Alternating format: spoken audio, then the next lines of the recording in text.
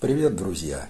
Вы все знаете из роликов Аленки, что мы делаем ремонт в частном доме в Чеплыгине и одновременно с этим устраняем последствия залива квартиры в Москве.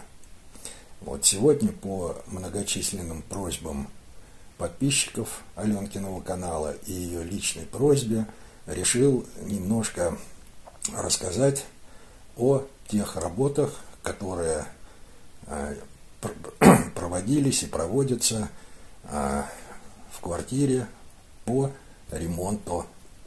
Вот сейчас расскажу, что случилось, что сделал, что делаю, как, почему, зачем. В общем, вот как-то так. У соседей сорвало гибкую подводку к унитазу. И, соответственно, огромное количество воды вылилось на нашу квартиру и на квартиры, которые находятся ниже. Протечка аж до второго этажа, шестого. Вода у нас в квартире стояла вот здесь вот, на кухне. Вот в этом коридоре стояла вода. В прихожей стояла вода. И вот здесь вот где-то на расстоянии метра от этой стены тоже было залито водой. Также вода текла вот по этой стене,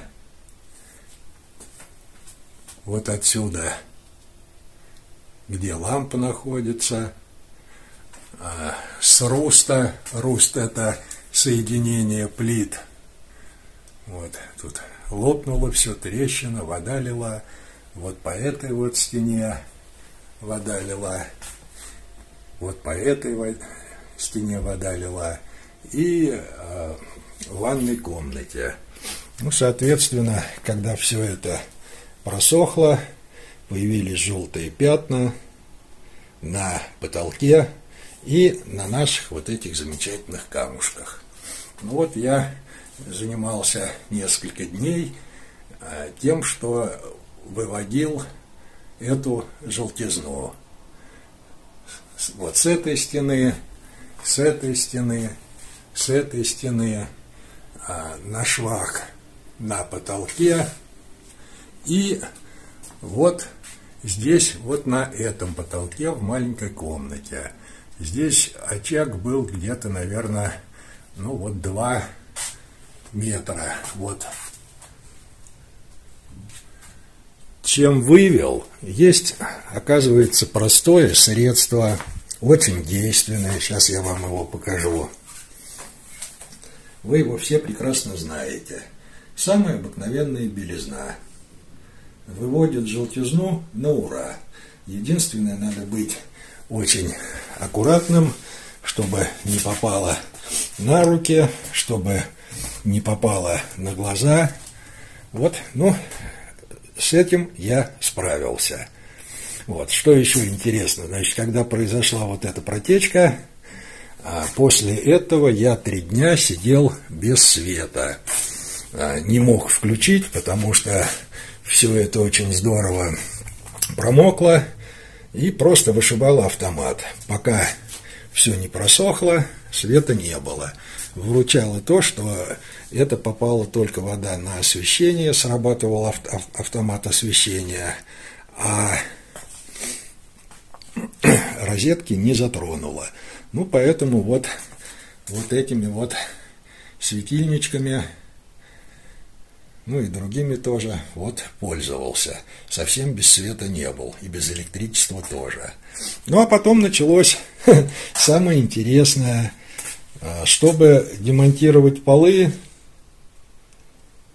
нужно было разобрать всю вот эту мебель, вот, а, демонтировать газовую плиту, стиральную машину, а, демонтировать мойку, убрать холодильник, убрать вот этот шкаф из коридора, разобрать, открутить вот эти обувницы здесь все. Вот. Самое, конечно, тяжелое было это бороться вот с этой кроватью. Она абсолютно неподъемная, нетранспортабельная, а так как я все это делал один, ну, немножко тяжеловато было. Не поверите, справился. Э, Причем самое интересное, вот эту кровать было гораздо труднее разобрать, чем потом собрать.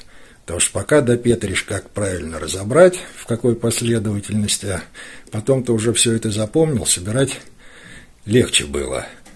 Но одному, конечно, неудобно. Так вот, когда я все вот это а, перенес, а перенес я в большую комнату, вот туда была полностью заставлена, а, узкий проход а, между всеми этими предметами мебели к балкону, и все. Вот. И этот узкий проход еще вел вот к этому дивану, Э, на котором во время ремонта я ну, как-то размещался и ночью отдыхал. Вот. Ну, когда все это сделал, вот пришлось а, восстанавливать потолок, расшивать русты, заново их заделывать, шпаклевать, выводить потолок, красить. Ну вот это все получилось. Как-то вот смог я это сделать. Вот. А потом, извините, началась у меня половая жизнь. Вот снял старое покрытие, утилизировал все это. Вот, э, вот здесь, вот в этом месте э, э, стояло большее количество воды, и все это пролилось немножко вниз. Вы все, наверное, слышали от Аленки, что у меня здесь сделаны насыпные полы. Это засыпка из мелкого а, двух-пятимиллиметрового керамзита, и потом на это положены специальные элементы пола, и потом на эти элементы пола можно делать разные покрытия. Хотите плитку, хотите там линолеум, ламинат, паркет, все что угодно. Так вот, э, вот именно в этом месте очень-очень сильно а плиты, вот эти напольные специальные элементы пола, очень пострадали. Вот мне пришлось все это демонтировать, утилизировать, грязи было уйма. Вот. В общей сложности я заменил а, полностью элементы пола а, в коридоре и а, три элемента вот здесь вот в прихожей, то, что пострадало. Остальное не пострадало. Ну, а потом, после этого, вот а, начал заниматься настилом нового напольного покрытия. Когда все это сделал, а сделал вот Э, единым пространством, ну, как у нас, в принципе, и было, э, от кухни по всей квартире, квартире ну, вот сделал единым пространством от кухни до э, маленькой комнаты, вот, без всяких порожков, без переходов, вот. Так как у нас не затронуло большую комнату, там остался а, ну вот старый ламинат, старое напольное покрытие, но как-то вот, ну, не то. Вот после этого покрытия переход к тому, а, ну, совершенно как-то мне не очень нравилось. И вот я думал, а как бы а, сделать еще и это напольное покрытие, а это кварц-винил, а, SPC-панелька э, в большой комнате. Ну, самое простое это содрать, демонтировать старое напольное покрытие и постелить новое. Но э, у нас в большой комнате это сопряжено с определенными сложностями. Во-первых, у нас на старом напольном покрытии э, смонтирован вот этот камин, смонтированы вот эти колонны, и самое, конечно, это вот этот вот большой-большой шкаф.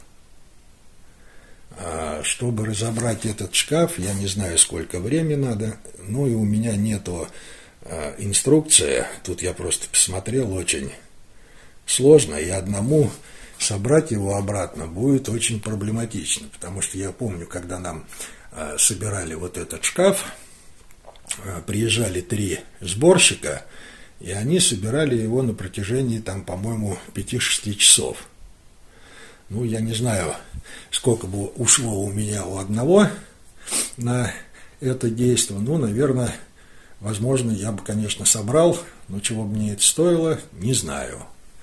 Ну вот и подумал, а почему бы мне а, не постелить вот это кварц-виниловый ламинат, кварц-виниловое напольное покрытие на старый ламинат – я не специалист, я не знаю, не знал, насколько это возможно, но человек дотошный, привыкший делать все своими руками, а прежде чем решиться на это действие, я а, позвонил представителям производителя и узнал, можно ли постелить их напольное покрытие на старое напольное покрытие. Ну, на что я получил ответ, что можно стелить на любую ровную поверхность без изъянов, будь то паркет, ламинат, линолеум, плитка, стяжка, все что угодно. Главное, чтобы старое покрытие было А целостным, не было а, никаких неровностей, вздутий, сколов. В общем, если все нормально, можно стелить. Ну, так как у нас вот старый э, ламинат, он в отличном состоянии, хоть и уже больше шести лет прошло, ну вот решил попробовать. Вот сложности у меня а, возникли только две, одну из которых я уже преодолел. А, это нужно было а, делать вырезы пропилы, во-первых, по периметру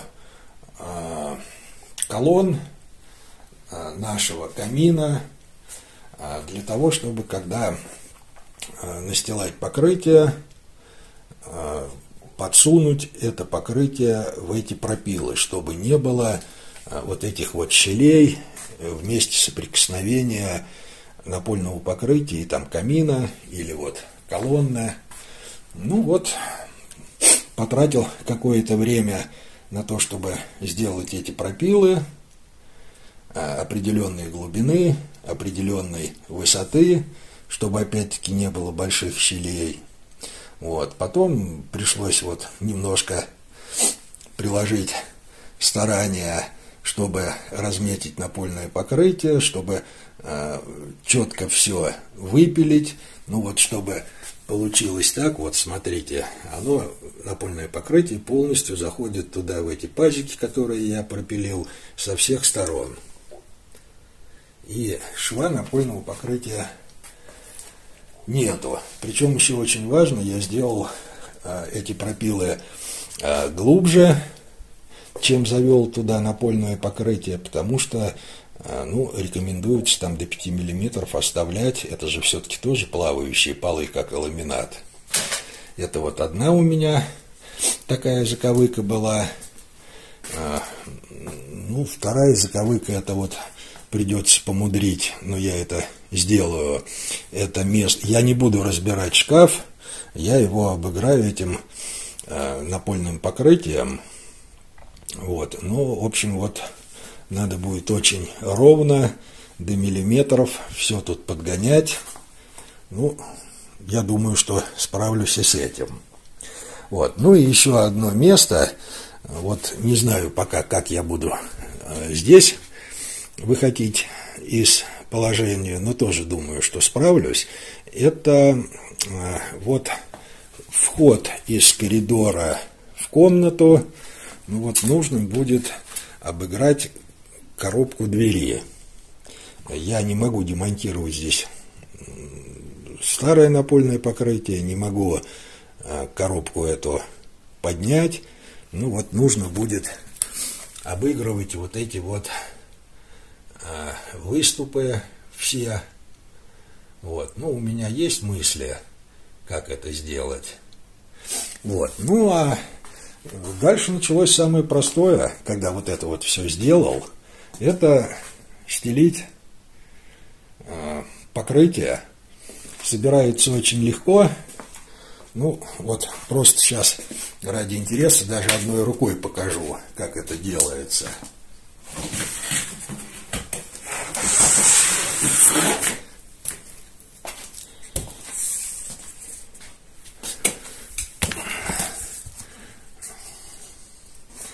Вставляется торцевой замочек вот сюда, вот так вот. А потом немножко вот так вот приподнимается и стыкуется а, с соседней плиткой.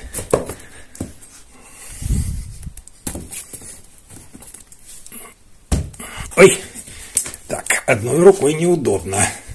Ну, на самом деле, вот, ничего сложного нету. И когда вот обыграл все вот эти углы, дальше вот это вот собирается очень-очень быстро.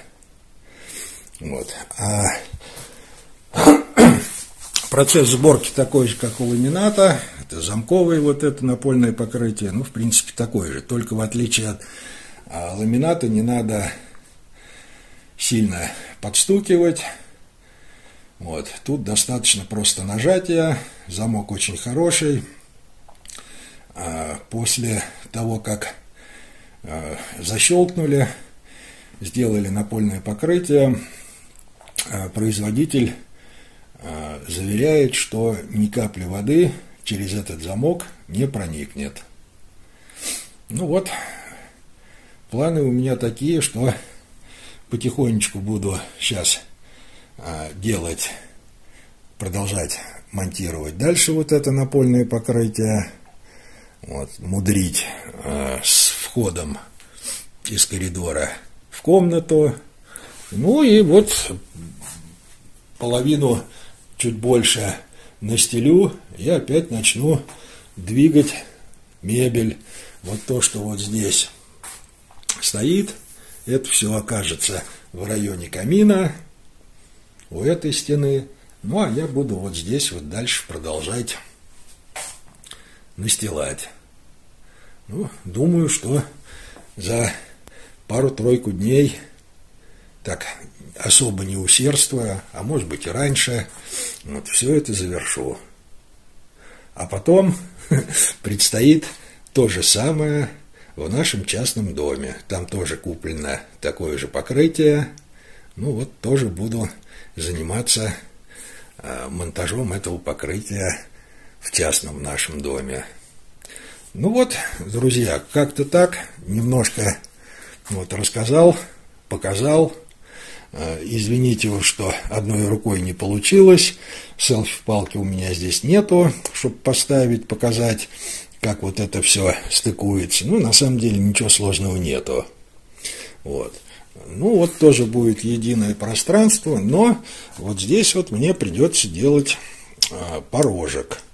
Почему? Потому что а, будет перепад высот. Там-то я в коридоре и в прихожей снял вот это напольное покрытие. А э, разница в толщине кварц-винила и нашего а, покрытия ламината 5 миллиметров, ну вот, будет вот этот вот а, перепад высот 5-7 миллиметров, который придется обыгрывать порошком. Ну, ничего страшного, ничего страшного.